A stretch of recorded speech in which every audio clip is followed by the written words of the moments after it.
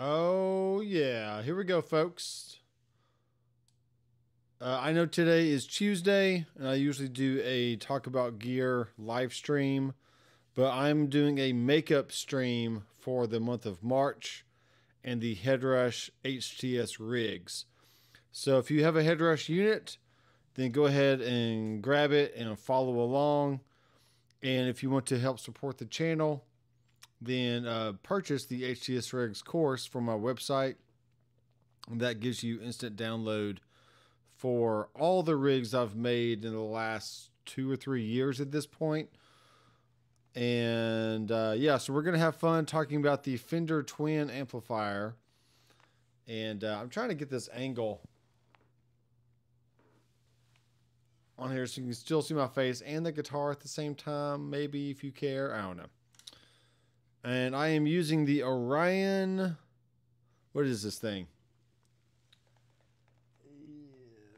This is the Synergy Core Orion Studio.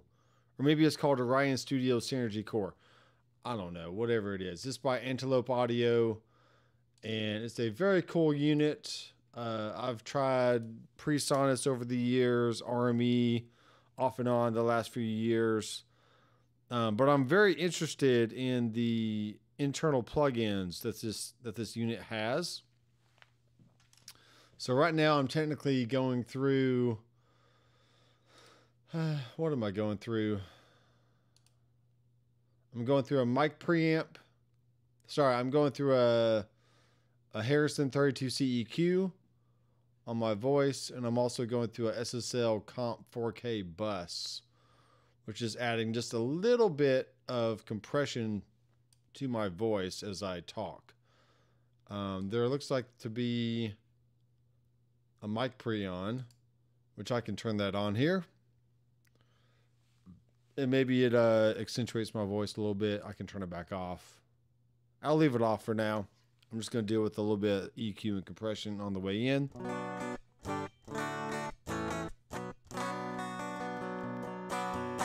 And last night I was playing the Headrush core and adding a distressor plug-in to the back end, kind of give it some gel and some cool, like, you know, cool sound. So uh, yeah, it's all good. It's all very neat. Uh, this is the Kiesel Osiris. It's a headless model and it's seven strings and it's fanned frets, which means the scale is longer on the bottom than it is on the top.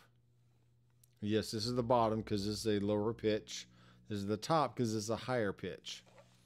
So that's how that works. And over to my right, you see the headrush core. Here's my hand going over to the screen. And I have made a set list called Big Twin March HTS Rigs. So everything I make tonight will be available on the website, and you can go download it uh, after you purchase um, the course, or if you already if you've already purchased the course, then you just go in and download it and be good to go. Uh, but that means that next week I will do another HTS rigs for this month because last month was busy and honestly, basketball. I'm just gonna blame it on basketball and uh, I watched all the games, uh, or at least as much as I could, and just soaked it all in. And I loved every minute of it. And I actually watched women's basketball for probably the first time ever. Um, because there's actually people that can play now that actually know how to make a layup. Uh, I mean, honestly, it's true. Uh, I always try to watch basketball or women's basketball in the past and after five minutes, I just turn it off because they just keep missing easy shots, you know, walking, double dribbling. They're not like the high level of basketball that I expect to watch if it's if it's televised at any in any way. Um, it just wasn't there. It wasn't to that high level that I preferred to see. So, uh, but this year, uh, thanks to uh, a lot of a lot of great players, both men and women, uh, I was very entertained for the month of March and uh, the very beginning of April because March Madness or the NCAA tournament ended technically in April. So, anyway, there you go. Uh, the last week I have used my own IRs, uh, which if you are, um, uh, if you like IRs and you want to check out some really really good ones, Greg Barth over at Sonic DNA is having a happy birthday sale. I think he's giving sixty percent off. Uh, so go check out my pack, the Doc McFarland IR pack from Sonic DNA. It essentially gives you a 2x12 cab with a vintage 30 and a greenback. And it has three different microphone types, and it gives you the ability to balance uh, the microphones either the same volume, one halfway down, or all the way down. Then does the opposite uh, side. It does all the way up again, and then does the left side halfway down, and then all the way down. So it gives you different combinations of microphones, and it also gives you on and off axis options, and they just sound really good. So uh, Greg did a great job with those, and I'm uh, I use them. Pretty much that's all I use. The, the only IRs when I do use them, I use my own because they sound really really good. So if you want to help support the channel, uh, you will see Doc McFarland IR pack uh, from Sonic DNA in all my video descriptions. Uh, so just find any of my videos uh, because I've updated all of them at this point, and you'll see the Sonic DNA Doc McFarland IR pack. So uh, thank you for your support on that, and I'm sure Greg supports um, that recommendation as well, uh, since he's the guy that made it, and uh, I'm the artist that endorses it. So, uh, but for the sake of uh, continuity, not continuity, for the sake of uh, everyone being on the same playing field, we are going to use stock or uh, stock cabs. Um, there are there are stock IRs that come in the headrush, even the legacy units. I call them legacy units now.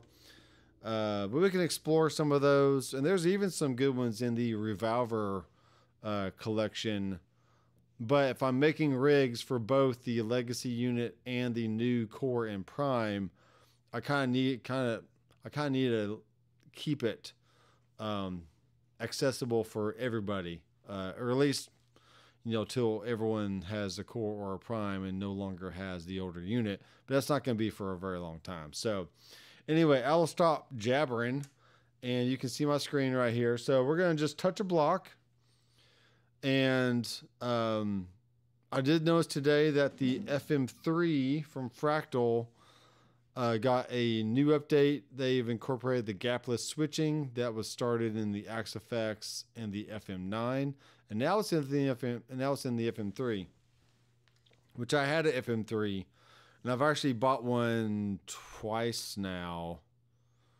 was it three times?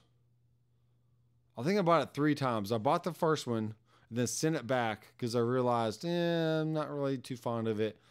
I didn't like the limitations of it. And then I bought a second one, kept that for a little bit longer, but then I ended up selling it on Marketplace. Uh, probably lost like 200 bucks off of that deal, uh, which it is what it is. And then, um, no, that wasn't the recent one. That was the uh, the other one. I sold the other one somewhere, and then uh, the third one, I was like, all right, I'm, I'm really going to keep the FM3 this time because it was like the turbo and it had the bigger screen, the scribble strips. And I still was like, you know what? Even with the gapless switching, I'm just not fond of the workflow and all the things that you have to do just to make a basic rig. So let's let's make a rig right now. Let's start over here. So when you turn on the headrush core or the prime or the gig board or the pedal board or the MX5, you are presented with a blank screen. Okay. And if you're watching, be sure to uh, uh, leave a name and, and uh, where you're from and which headrush do you have, because uh, I'd be interested to know what you have there. Okay. All right. So when you have a blank screen here, all you have to do is if you're on the legacy unit, you have 11 blocks. If you're on the headrush core or the prime, you have 14 blocks. Okay. Now, because of that, and I already know that I want to have uh, my amp and cab kind of in the middle, and then my reverb and delay effects toward the end, and then my drives and filters and wah wahs and stuff like that toward the front. So I'm not going to choose the first block and then add an amp there because I mean I technically could, but then I just have to move it anyway. Uh, but let's just go ahead and do that just for fun. So we're gonna go to amp. We're gonna go to Headrush, and we're gonna scroll down till we see the black duo, the 67 black duo, which is the Fender, the blackface Fender Twin. Okay, and if we play something, this is what we have. It's actually not too bad. Usually, when you get a little bit of dirt on the signal, you now have the sound of, I call it the swarm of bees kind of sound, where it's just kind of buzzy and fizzy and fuzzy and weird stuff going on. You can kind of hear it right there. So it's just not, a, when you don't have a cab in the signal path, that's the kind of sound you're going to get. Okay, so now we're going to go hit the plus, go to cab IR, go to Headrush. We're going to go to Headrush, head rush cab. And we're going to go down and find the 2x12 black duo cab. So this is the cab that usually comes stock with the head. Okay, now you hear all that nice bass kind of roll in there, and you got some kind of some scoopy mids going on, uh, some nice jangle in the top end.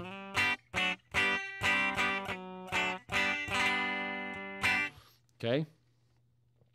Now from here, the vast majority of your guitar sound is going to be the the speaker type and the microphone type that you're going to choose in the Mahler.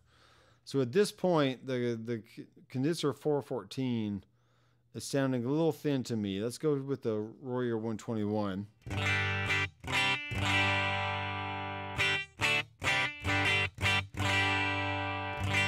Okay, and since this is a unit that is really meant to mimic the recorded sound or a sound that has a microphone in front of it, um, we can do some EQ after the fact that helps us along to get a, more studio sound.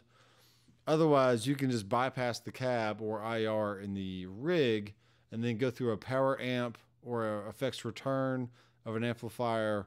And then that should provide you with a power amp sound and a speaker sound. Because if you have a combo amp, you already have a speaker sound because the physical speaker is providing the speaker sound that you need to complete the the signal chain of a guitar rig. All you have to have is a preamp, a power amp, and a speaker. And then from there, you're either standing in the room and your ears are picking it up, or you put a mic in front of it, and now you're listening with headphones, uh, in ears, or maybe a floor wedge coming off the stage, or maybe studio monitors, or whatever kind of speaker system or playback system that you have to actually monitor the sound that you're using. So, okay. And the Black Duo, I mean, any Fender amp is just going to give you a very scoopy kind of sound. So I wouldn't expect this sound to have a lot of mid range to it. Okay, we can turn the brightness off. So there's also another thing with the EQ circuit on most amp most amps out there is when you boost the lows and the highs, you naturally get a scoopier kind of mid range. But when you turn down the highs and the lows, you get more mid range. So it's just, if I could draw a diagram, I would, but um, that's just kind of how it works. We do have a vibrato on this amplifier, which is nice. And we can turn down the intensity and also the speed just slightly here. So for example, we're going to turn down the bass and turn down the treble. This does have a mid knob on it, which if I jacked it all the way up,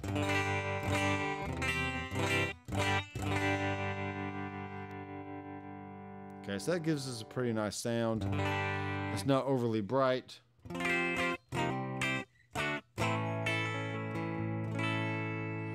And you can see I have the volume at 57%. It can be 50%, it could be 60, somewhere in there.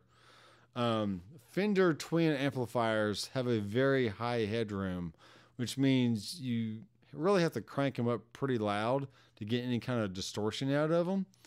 Uh, which also means that you can keep them around the three or four percent area or on the dial and just have a low volume, very squeaky clean type sound, which is great for country guys or um, you know pop or funk or whatever.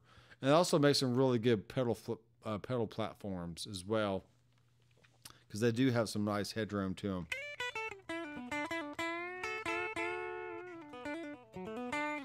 Okay, at this point, I have made my tone, and now I need to go to the output section and make sure I'm getting into volume out of the rig. So from here, we're going to click on the last area, which is output, and then just play. That's actually pretty good. I'm going to try and get a little closer to that zero mark. So I'm going to tap on the rig volume and start bumping it up about 3 dB or so. Okay.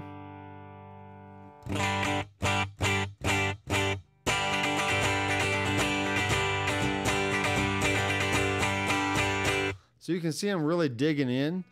And like a good tube amp, uh, the tubes are going to compress at a certain volume. So therefore, that's why even in modeling, when you play hard on the strings, you're really not going to get more volume out of it. It's just going to start compressing. Um, all right, so we're going to keep this pretty clean here. And I'm fairly happy with everything that we have so far. Maybe add a little bit more brightness. Here's the uh, neck pickup on the Osiris.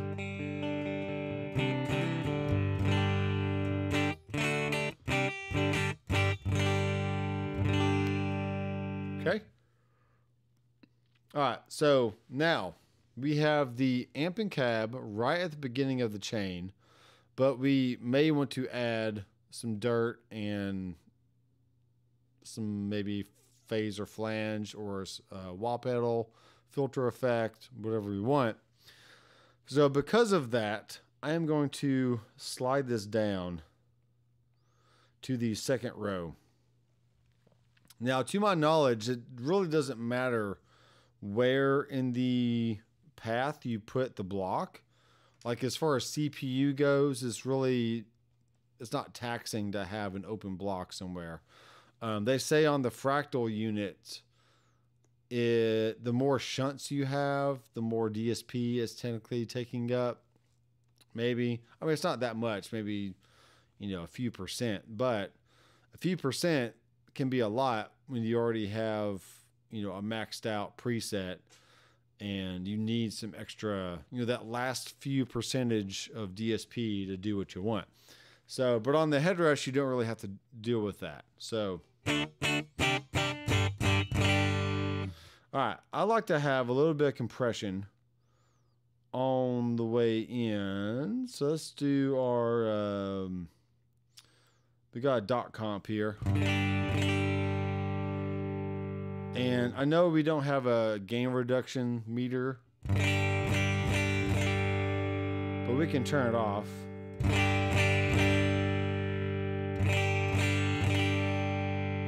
Okay, so that's getting a little squishier sounding.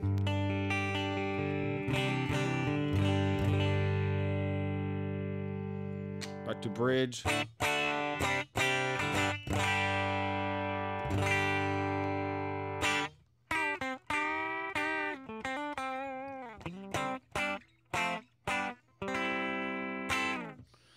All right, and then at the very end, we will do some reverb. We'll do a good old spring reverb here, bright and tight.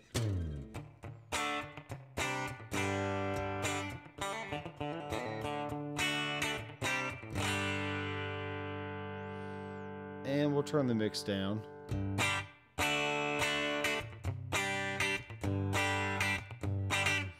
Okay, I always prefer to have the tails on my delay and reverb. So when I bypass the effect, the effect keeps going or spills over. So that's really what it is. Uh, snake pulls in the house. What exactly is the alternate output? Uh, it's funny when I first got my uh, the very first headrush many many many years ago, probably back in twenty probably late 2017 early 2018 somewhere in there. On the pedal board, which they did not have this on the gig board or the MX5 because there was only um, there was only quarter inch outputs on the gig board and MX5, but the pedal board had a XLR and a quarter inch, and you could differ- differentiate between them. So real fast, if we go back here and go to our global setting, and then click on audio, um, it's going to be a similar area for you if you're on the legacy units. Um, but essentially, what you're saying is this: we want our guitar input to be you know, it can be guitar or it can be effects return left or it can be per rig, which means I can change it per rig if I want. So I just keep it on per rig. Uh, but right now it's set the guitar. And then my guitar out can either be XLR or quarter inch or phones, or I can just turn them all off. So I, if I de, de uh, engage the XLR, you can hear I have no guitar signal anymore because I have disengaged it. If I bring it back in, okay, so that's all well and good. The alt guitar source is telling you that uh, you can have an alternate output anywhere in your chain. Okay. So what's happening here is if I have it be rig input, then essentially I can send uh, my dry guitar signal up into the first rig input, and then it's going to stop there and it's going to bypass everything in the rig. So I don't have a quarter inch output right now, but I will. I'm pretty sure I have a video on this uh, late last year sometime.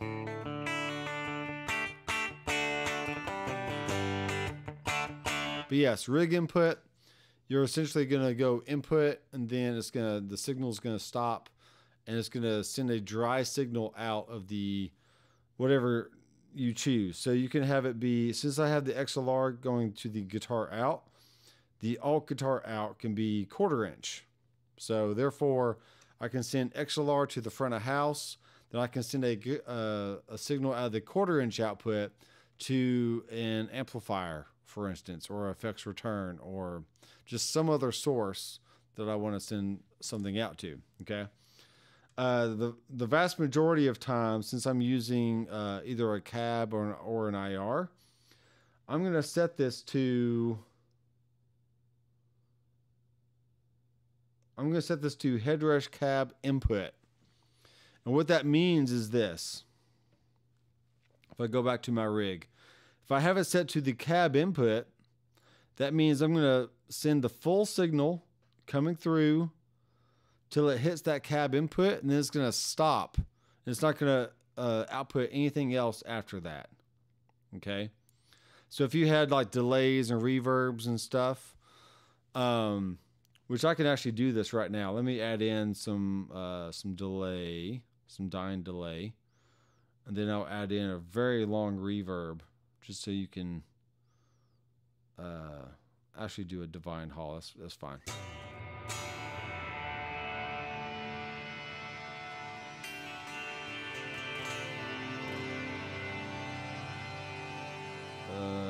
See.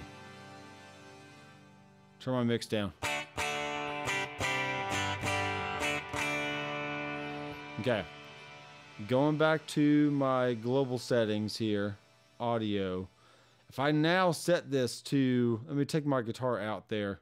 If I now set the guitar, all guitar out to XLR.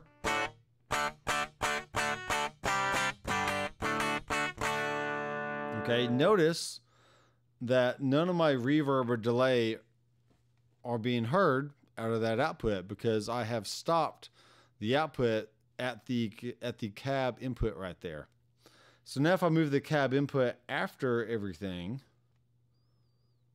like so, guess what? Now you hear all the effects because I've I've told that guitar output or the alt guitar output to go up into the go through the signal till it hits the cab input and then it's going to break the chain there and bypass the cab.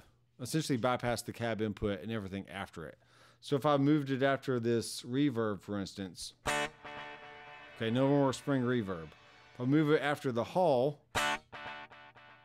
okay no more party verb.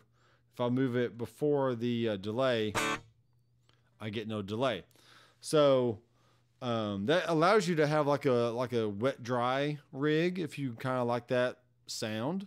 You can do a wet dry thing, uh, which is really neat. Um, because one output can send the full signal, and then the all guitar output can send everything but, you know, delay, reverb, cab, whatever you want. So, I uh, hope that makes sense, and it's actually uh, it's actually pretty easy. And just for that reason, I will go ahead and put the cab at the end. Um, but I will not have the guitar source be an XLR. I'll have it just uh, go out of nothing right now. Okay.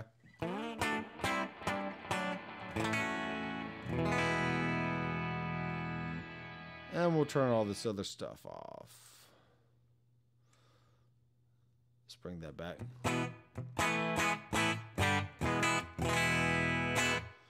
Okay, so now you see I have a compressor, a amp head in the middle. My cab is at the end in case you want to do an alt guitar source thing. Then I have some wet effects in between. Okay. I'm going to go ahead and bring in something that I probably should have tried a long time ago. And this is the S1 drive. And my goodness, I have really fallen in love with this one.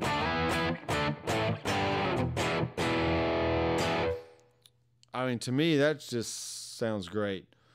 Uh, let me check the rest of these comments here. He's on a prom, and yeah. So uh, yeah, let me know if you have any more questions. I can definitely address them.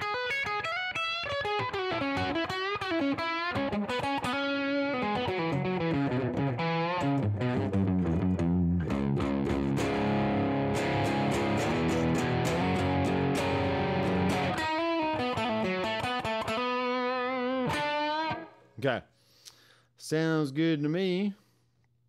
We'll do another pedal, another pedal here. I really like just having the green JRC. Um, that works for me. Drive down, volume all the way up. It always defaults to yellow.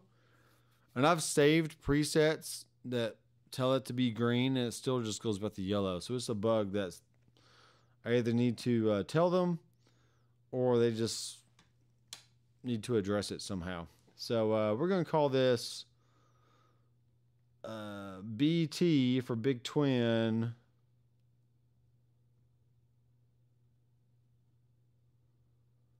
Big Ten Clean.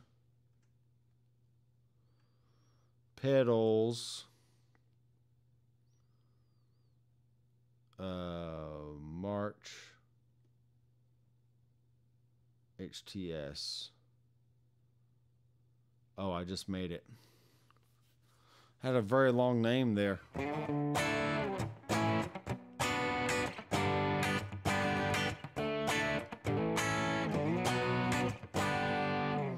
Okay, it's always uh, when you engage a, a drive pedal, you always want to bypass it and make sure the level is roughly the same. If not, maybe just a little bit higher. So.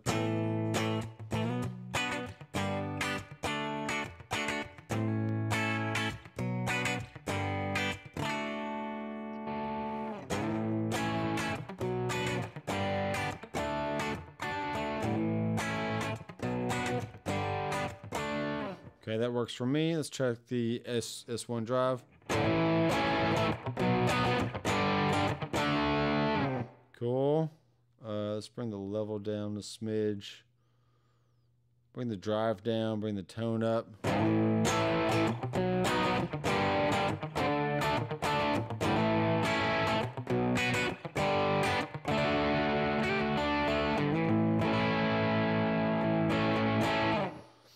Now, I'm okay with the drive being down because you can always kick in the tube screamer and get more dirt that way. Otherwise, you just have a nice low gain kind of.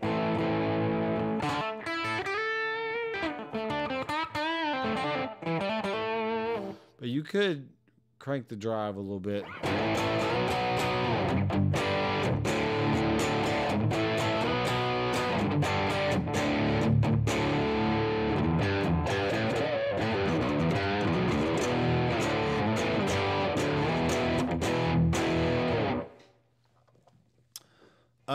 Not sure about the an update. I know there's a beta, but I'm not sure when it's going to be released. So, whenever everything is worthy of being released, then they'll release it. So.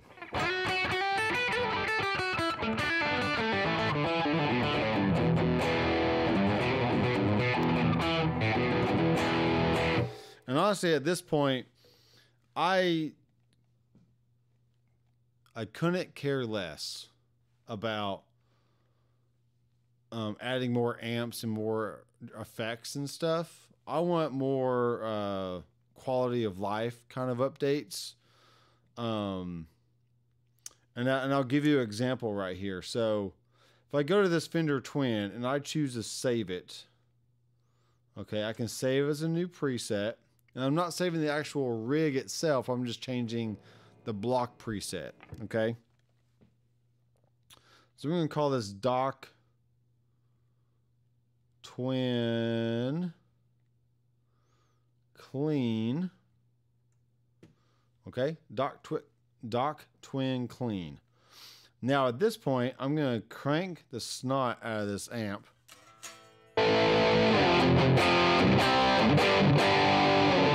Okay. And you'll notice that that's pretty cool actually. Uh, let's crank the treble. We'll bring down the bass.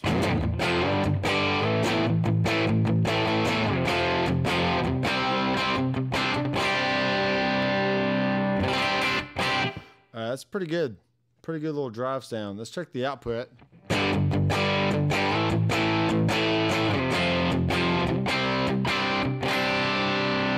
Now notice that my green LEDs are hitting right the same zero mark as when I had it set to clean because a good tube amp is going to compress the more you drive it.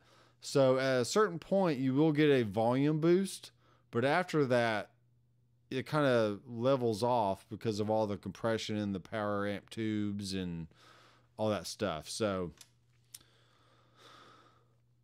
I use the effects loop for my drive pedals. The effects loop before the amp causes a hiss. So I have to put a noise filter after the effects block. Uh, that's interesting. I don't know why it'd be causing a hiss. Uh, unless it's doing some kind of 60 cycle home thing. Or maybe it's just a hiss. Or maybe you need to turn down maybe uh maybe turn down the either the send level or the return level. Um i don't know. It's that's interesting.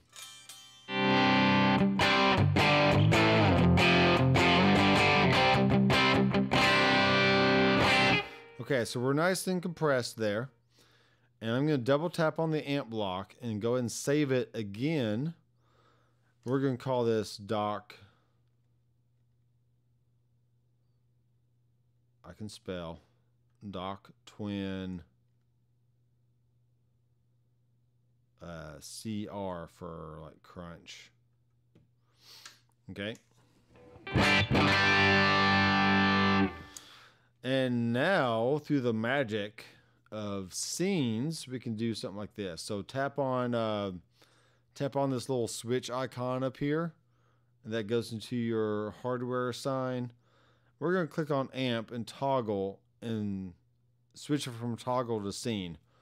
Now you can't have the hold function on the core the gig board or the mx5 because these have secondary functions and when you hold it it thinks, hey, I'm I'm holding it for the secondary function, but in reality, you would want it for a hold function, um, which is why you can do that on the pedal board and the Prime because the Prime has enough switches to where they don't have to do double duty, and therefore you can actually have a true hold function uh, for those switches. So that's the way it is. Uh, but what we're going to do is go into edit. We do have two scenes or two scene modes per switch. And you can see down here that we have a preset area on the board itself. Okay. We have a preset area.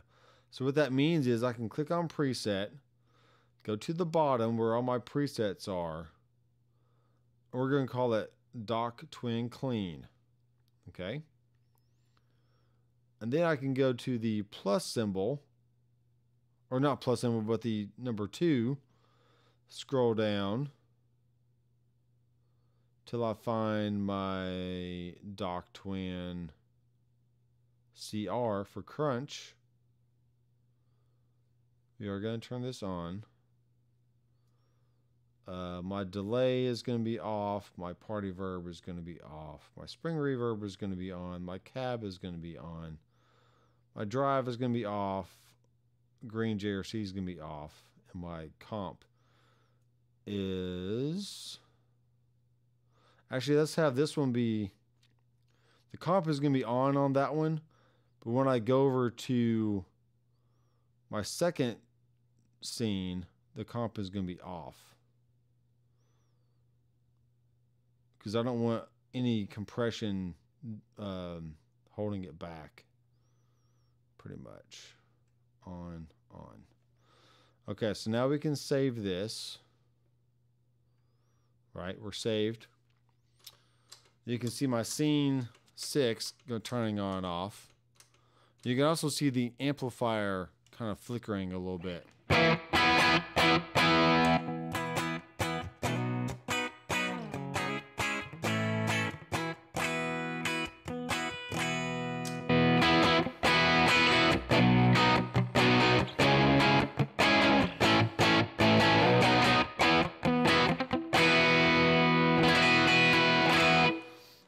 Here's my big beef with Headrush and a feature that I really, really, truly think that they need to add. Now, especially now that the Tone Master Pro is out with gapless switching, uh, Helix has some sort of, well, Helix doesn't do it. Um, but really, Tone Master Pro has zero gap when you switch between presets and also between uh, you know, internal switching of the preset within the preset.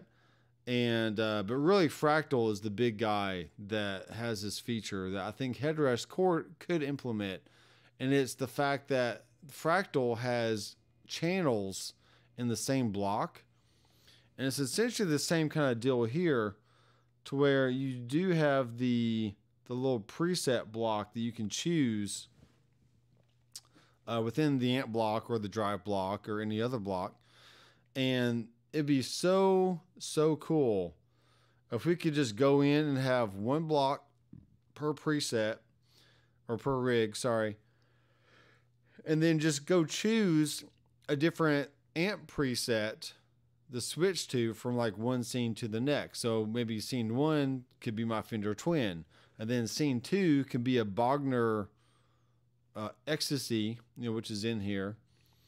Um, but I don't have to add a second amp block just to get that. I can just add the preset in there and then have gapless switching when I switch from scene to scene. Uh, but as of right now, when you change the block preset, it reinstantiates that block and you get a small gap in the sound. And I am very sad about that. So.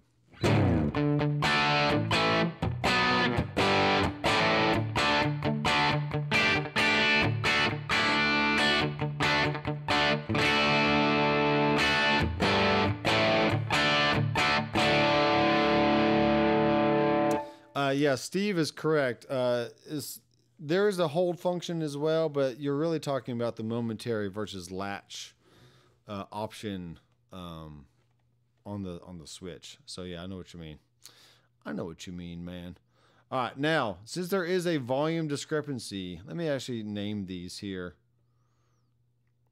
Uh, actually, let me do this. We're going to go to here and call this uh, amp amp xy and we are going to change the color. Let's go from blue to red. Okay save save.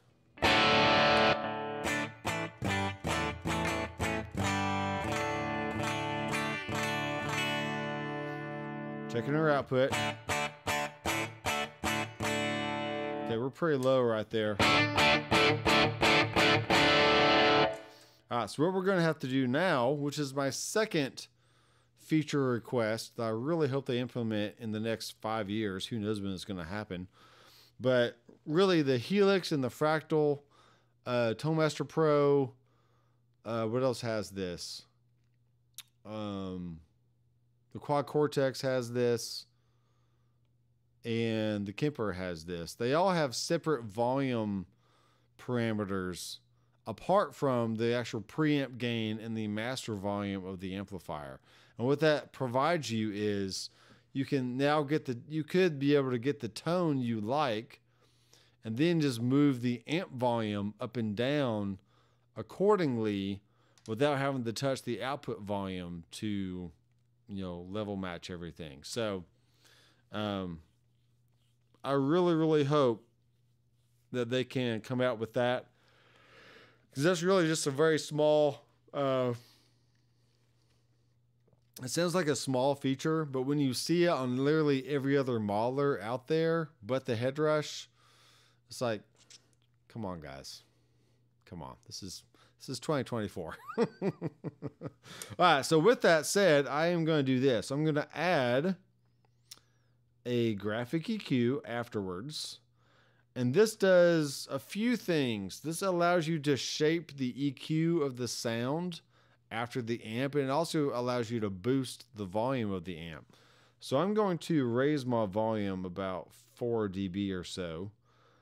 I'm also going to push some low mids.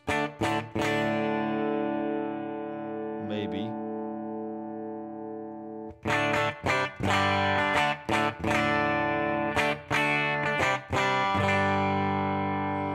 Okay, raise the volume back down or lower the volume. Okay, bypass it. See, it's very scoopy right now. And when I engage that EQ,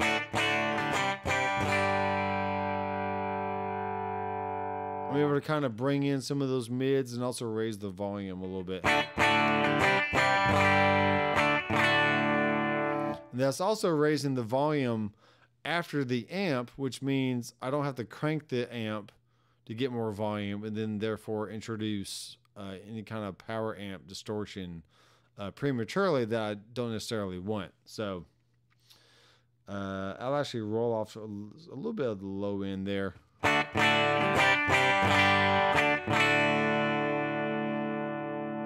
And that works for me. I can also save this preset. We'll call it doc uh, twin EQ. Something like that. Okay. Now we go back to our scene. And on scene one, I want this EQ to be on. But on scene two, I want it to be off. Okay, see that? Now we still have the issue of uh, the the switch, the the gap in the switching.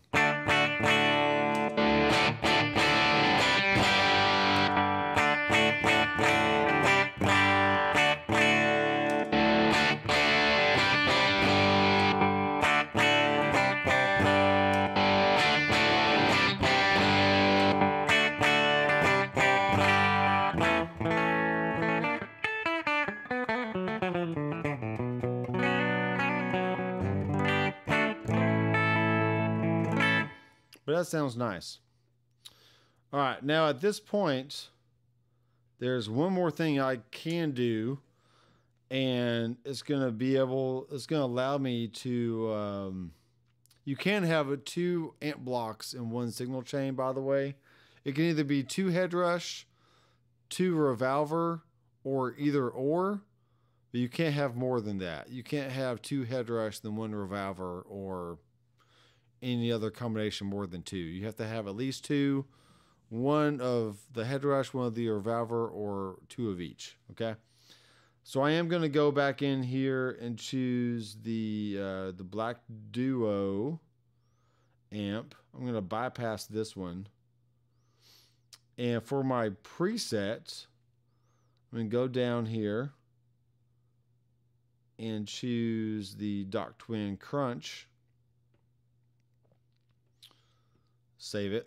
Okay, go into hardware assign, edit, so now you see amp 1 is on. I'm going to turn amp 2 off. And then for my second state, I'm going to have amp 1 off and then amp 2 on. Then my EQ should still be the same. And everything else should still be the same. Okay. So now I'm going to have zero gap in my sound because I'm switching between two different amplifiers. Okay, and I am turning on a graphic EQ. So here's the clean.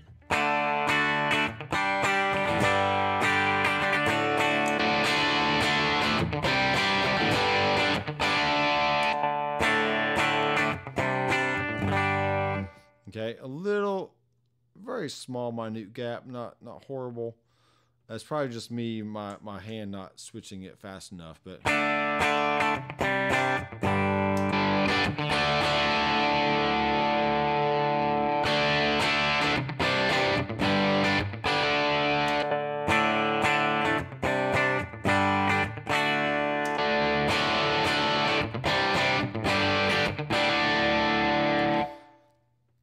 So there is a a clean twin with a crank tw- twin in the same rig, and you can still you're still able to uh, let's do this. Let's add the green JRC, the S1 drive, my delay.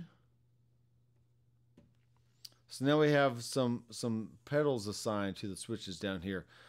In order for me to do that on the fractal, that would have took like 20 minutes. It, would have been stupid the amount of time it takes to just do very simple things. Um, so honestly, at this point, uh, I still have the Axe-Fx 3 and an FC12 foot switch, uh, mainly for like research purposes and stuff. But as soon as I can sell that those two items off, uh, I'll definitely do it. I do have them up for sale on Marketplace. So anyone's out there watching, they, they want a, a slightly used Axe-Fx Mark One and a FC12 Mark II foot pedal over the bigger uh, scribble strips. Let me know because uh, I do have those for sale. Because um, really, at this point, the headrush does a great job for what I need here in the studio, and I don't play out. I only play at church once or twice a month, so it's like, you know, I don't I don't need anything else really. Uh, but I do enjoy the Tone Master Pro, and I do enjoy the Helix or the Line 6 products. I have the Stomp XL. I also have the full Helix floor, which are great units. And uh, yeah, I like it.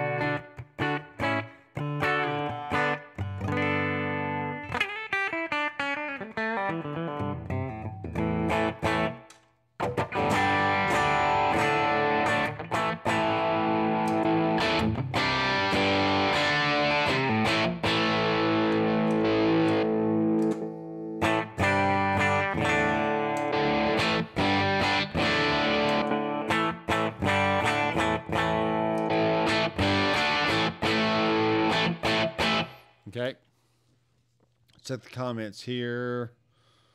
Let's check the comments here. Okay.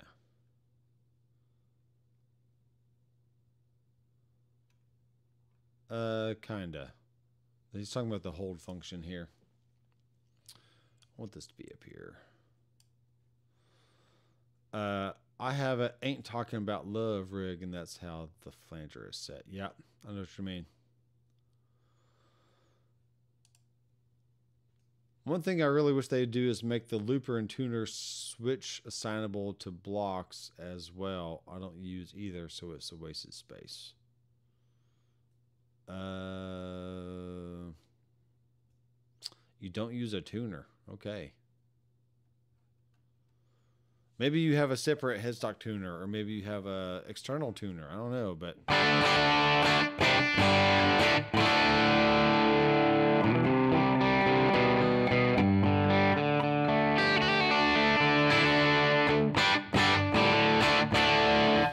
The fractal is the only one that's going to allow you to really reassign every single option on their unit.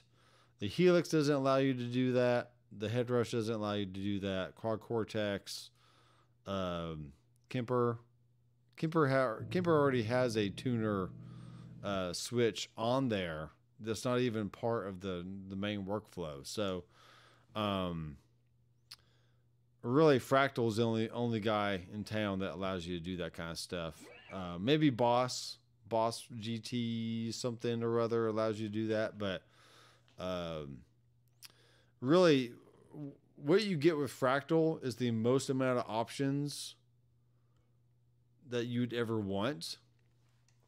And then everything else below that is just you know they're, having to compromise because of price or features or ease of use or whatever else. So uh, with Fractal, it is harder.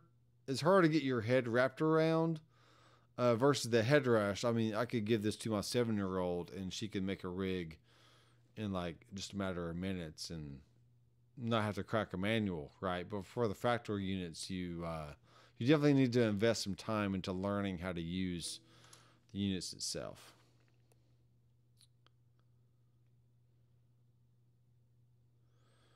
Uh, the tu- yeah, I, I've the tuner is fine for me on the on the Headrush, and actually, this guitar is kind of hard to tune, anyway. I've always had no issues with the Headrush tuner. It has worked for me. But another thing that's really interesting about this this guitar is it does have a trim system on it, but the the the tuners are down here as well. So when you actually turn the the pot, uh, you're actually pushing down on it. So you kind of have to turn it, then strike the string again, make sure it's where it needs to be. Then you know do that kind of song and dance. See that when I push down, it, it actually makes it go out of tune.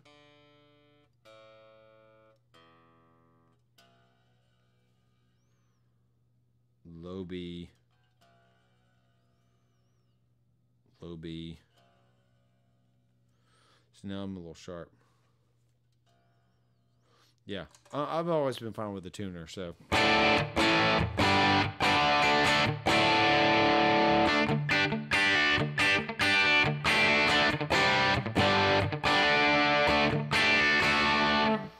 Okay, another thing you can do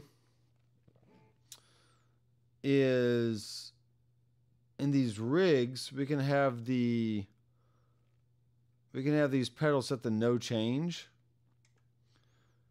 which means that if we have it on during a certain scene, it'll stay on, which I need to do that for both. Hold on, let me do it for both. No change, no change, no change. Okay. Tap, do do.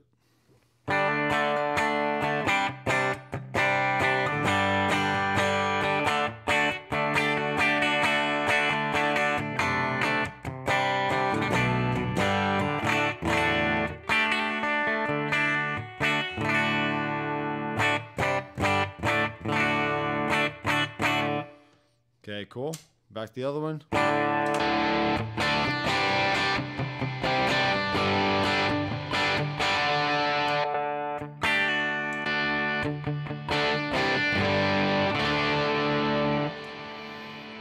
Somehow the party verb got turned on. We'll turn it off. There we go. Save, save, save.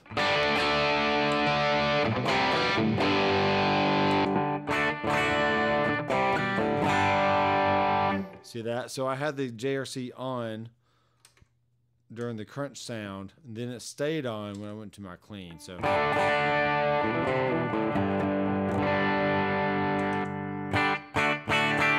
But now that's off, I go to my dry or my dirt sound.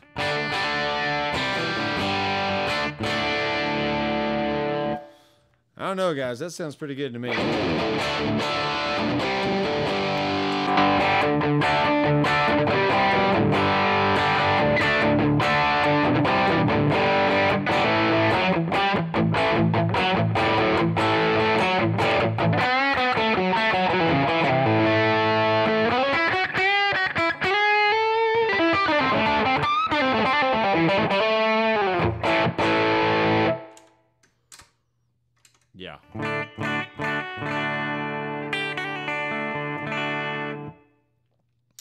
Say, for example, we don't push the mids as much on the EQ.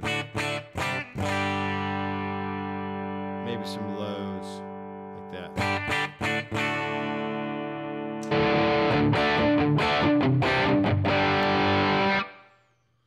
Checking this S1 drive here. Let's turn the drive back down.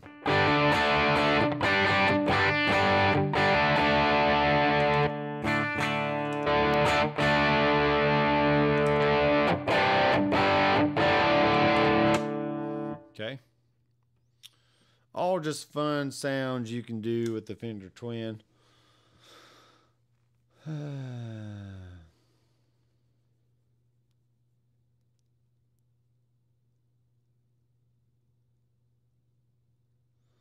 No problem, Steve. You can check out uh you can check it out later.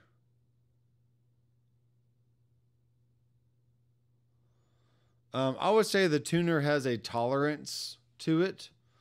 So as long as you know middle-ish, then you're good. But it's never going to be perfectly in the middle. It's, it's always going to lean one way or the other. But there is like a there's a tolerance there, so I, I really wouldn't worry about it. If you tune and you play a chord and it's sounding, this is what it means. Listen.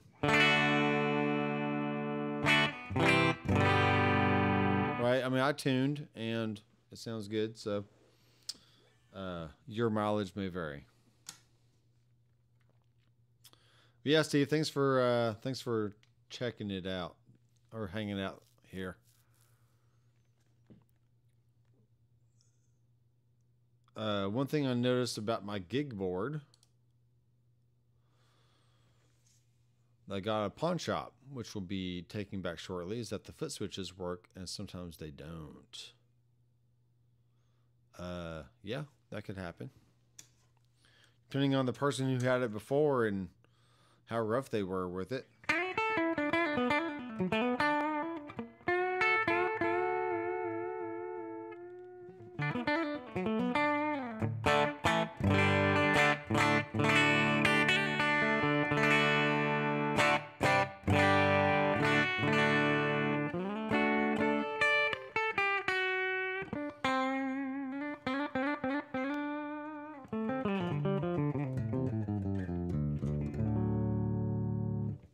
I think it sounds good. It's, not, it's got a big sound to it.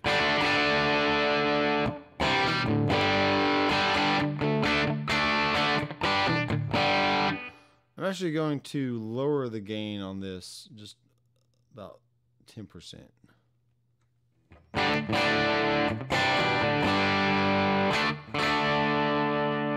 Kind of clean it up a little bit.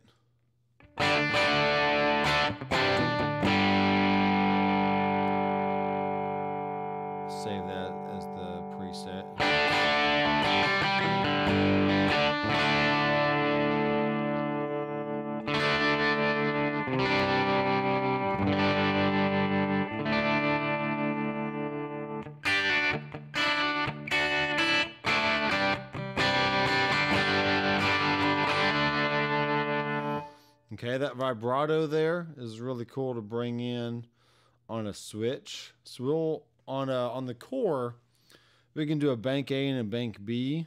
So if I hold this down, it switches over to the other side. And then we go into hardware assign and I will tell it to uh, instead of this cab,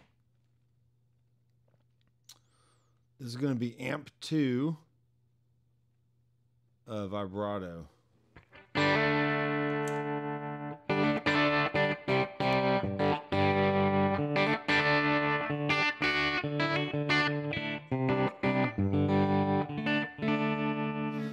Makes more sense to do that if you have a single amp.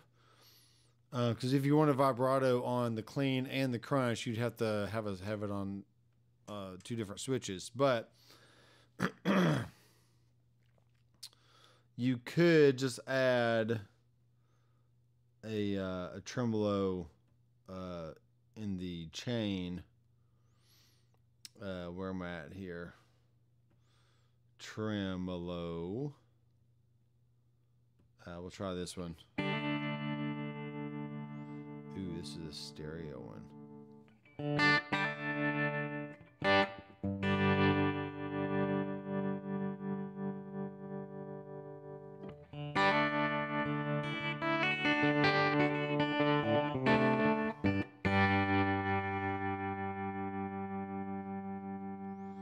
Offset the phase a little bit here. I hear it in my ears going back and forth in the stereo field. You should be able to hear the same thing if you're listening on headphones or studio monitors.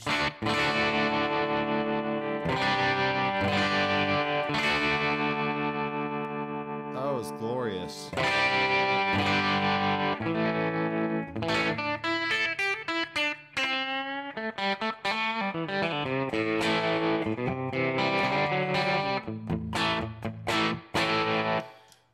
Do some math real fast, shall we?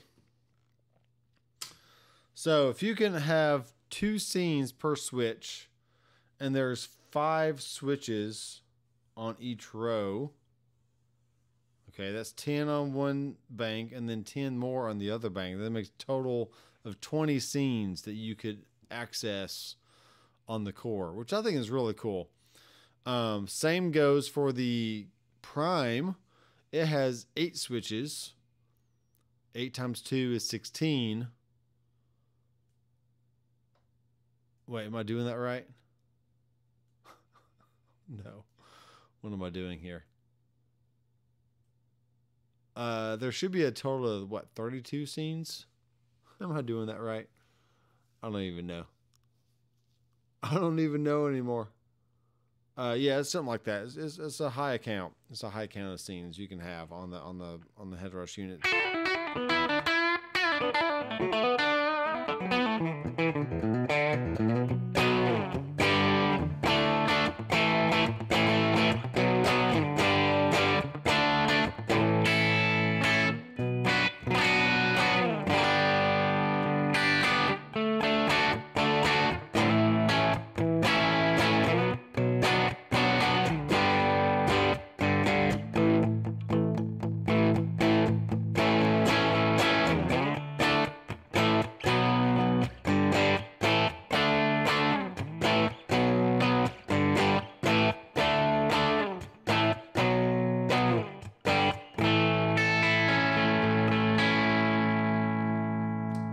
Switch back over.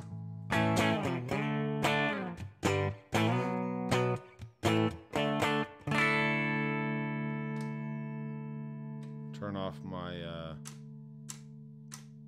ah, I see what I gotta do. I need to go here. Uh, let's reassign this to the tremolo sound. Hello tremolo on. Bam. There we are.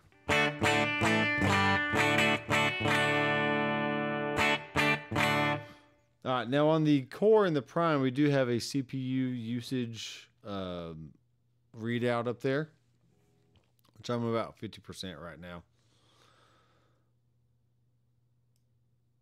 What up, Francis. Francis is in the house.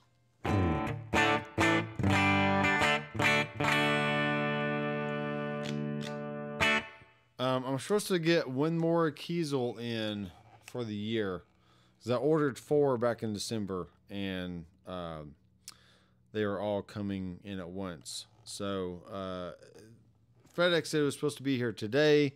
It was not here today, so therefore I'll go pick it up tomorrow, and um, it'll be cool. It's kind of like a Les Paul thing. Um, it's a single cut guitar with big block inlays. Um, you know, gold hardware, all the cool things in there.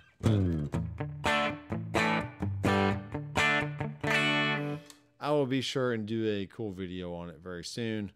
Uh, we've been going for about an hour now and uh, having some fun. I'll, I'll, go for a few more minutes and then we'll shut it down.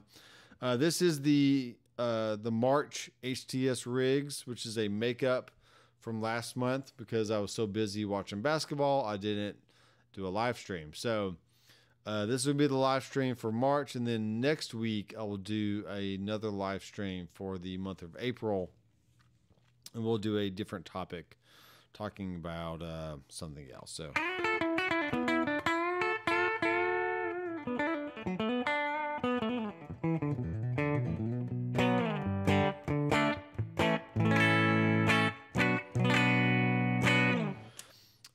Do want to show you something really cool here. Let's uh, let's make a new rig.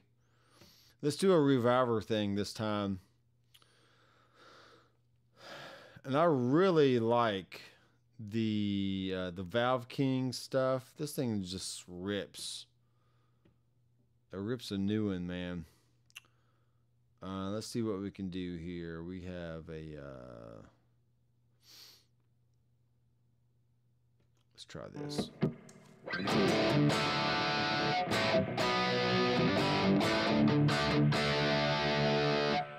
Okay, we got some natural reverb on the amp here. Let's take that down.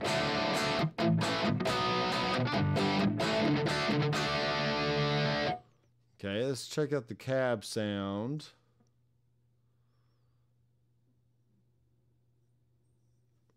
I'm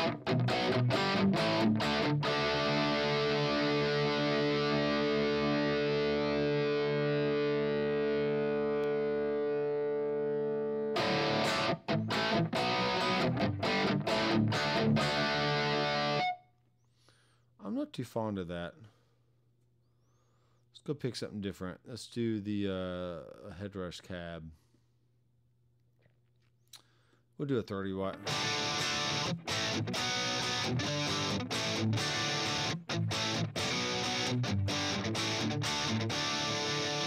Now that definitely has a more scoopier sound to it.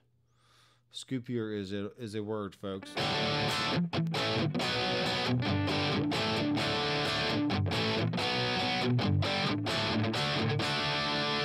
Okay, there's that. Versus, let's bring in one of my IRs just to give you a little taste of what it can do. Um, we're going to load an IR. We're going to go to user, Doc McFarland, IRs. And we'll bring in the same Vintage 30 cab here. We'll do a, a B, BA.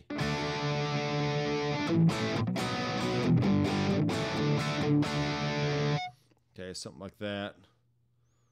Uh, we'll bypass that. We'll turn this one back on. We'll make it the uh, the vintage 30 again. Uh, so here's a vintage 30. Um, let's make it the same scoopy kind of sound.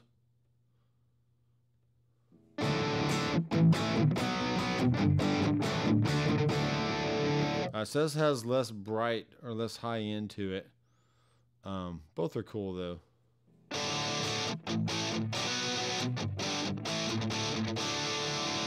Depends on what you want for the mix. Very scoopy.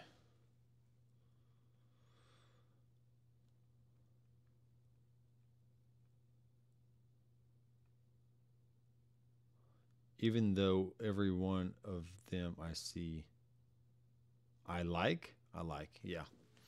Um, well, if you're gonna be in the market for like a Les Paul, which is probably in that $2,000, $2,500 range. Um, there's Kiesels that start off around the 15 17 $1,700 range. And then once you add the custom features, that can get into the 2500 3000 area. Um, that's really only if you really are stupid and not good with money and just want a custom guitar for the for the for uh, the fun of it, you know. Um, otherwise, you just go out and buy a Fender or a, an Epiphone or something and be fine with that. But uh, you got to be able to play as well. Anyway, what am I doing here? I am. I'm gonna try an IR. I'm just kind of demo, demoing some stuff. So.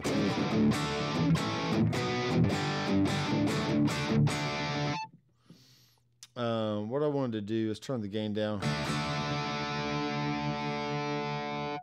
Let's go to a different model. The uh, the triple rec.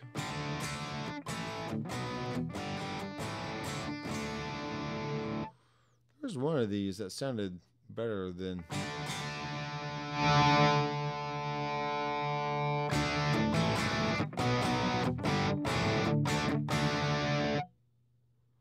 Let's trying it out. Gets a little bit closer. Uh, here's the Engl stuff. Uh, which one do I like? I was really liking the um, the 3120.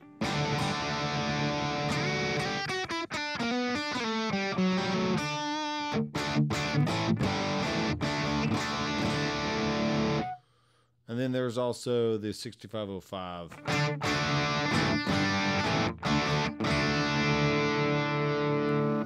Though something is not perking my ear like it was uh, the other night. Let me try a different IR. Um,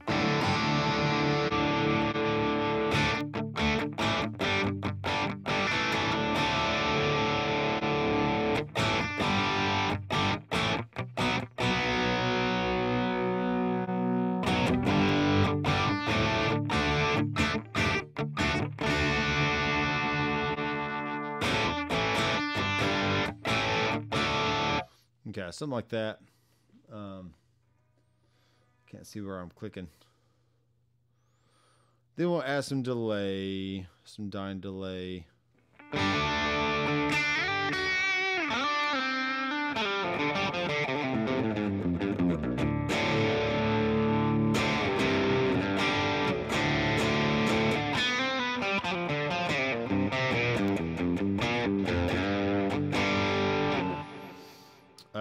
Some dirt before it. Something like that.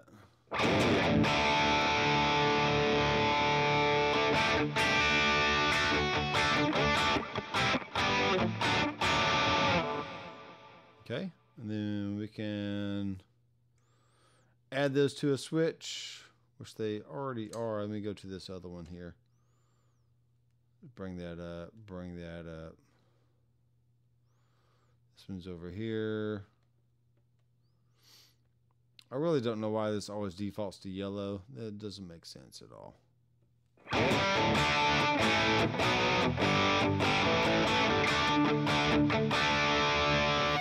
So, for example, you can have a 6505 and then turn that off and then bring in the Fender Twin again. And notice when I did that, the revolver was grayed out, which means you can't add another revolver amp.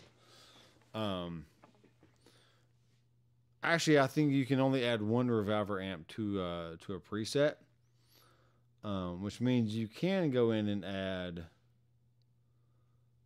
a black duo, for example. And then we'll go to our preset down here, uh, clean.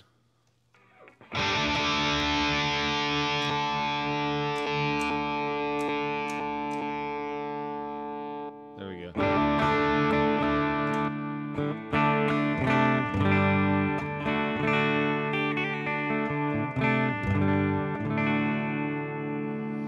Now, at this point, we can go to hardware assign. We can go over here and we can change this to scene. So scene one is going to be our clean amp and the revolver is going to be off. IR is going to be on, delay is going to stay on, this one's going to be off. And then my second one, um, they've made it to where when you choose the second state, that the what was off is now on, what was on was now off. So it basically just switches for you, uh, which is good some of the time. Which is good some of the time. I'm not going to bring in the JRC right now. I'll actually make it no chain. No, I'm going to have it off. Okay, this one is going to be blue. This one's going to be red. And uh, we'll go ahead and save it. Uh, doc. Doc Duo.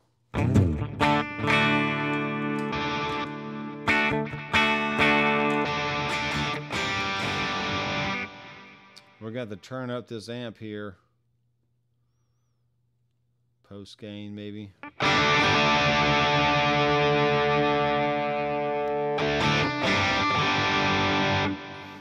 I do like the 6505 amplifier. It, it makes me really want to have a real one because it'd be fun. Hmm.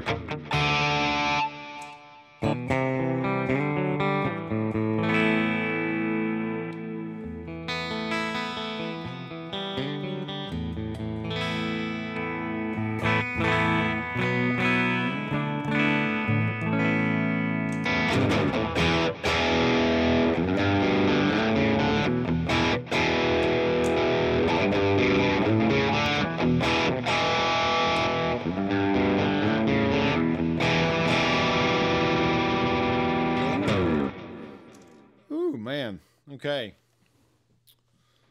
That was fun. Uh, just picked up one of the new SE CE PRS guitars. Yeah, those look good. Those look like good guitars. Uh, I had a CE24 that I got on a trade, and then I sold it because I really didn't. I really wanted. I really wanted cash for what I was trading for before. I didn't get that, so I just figured, hey, I will. Uh, I will trade up and then sell it for cash, and that's what I did.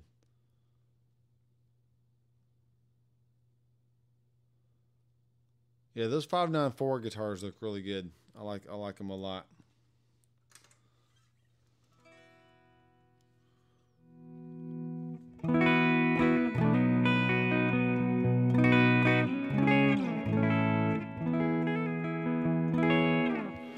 All right, we've been going for about an hour and 18 minutes. I'm trying to keep it to about an hour. Uh, I feel like when I go more than that, um, I just kind of they just kind of go on forever, and you know, no one's gonna watch past that point. So, anyway, and there's only two people watching. So those people who are watching, you are winners, and thanks for your support. And uh, I will have this rig, the twin rig, uploaded um, wherever it's at. This one, the uh, the black, the the big twin clean pedals March HTS rig. So that'll be the the rig for March, and then uh, next week I'll do something cooler with some more rigs and stuff. But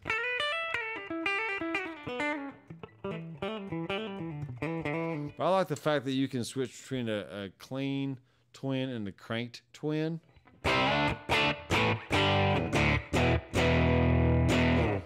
You could go in and switch out the, the spring reverb for a plate or a room or a hall or anything else if you don't like the spring reverb.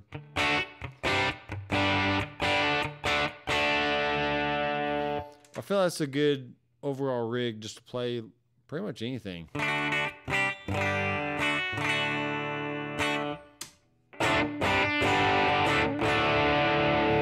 Got the S1 drive for some slightly different variation on the dirt and also a tube screamer.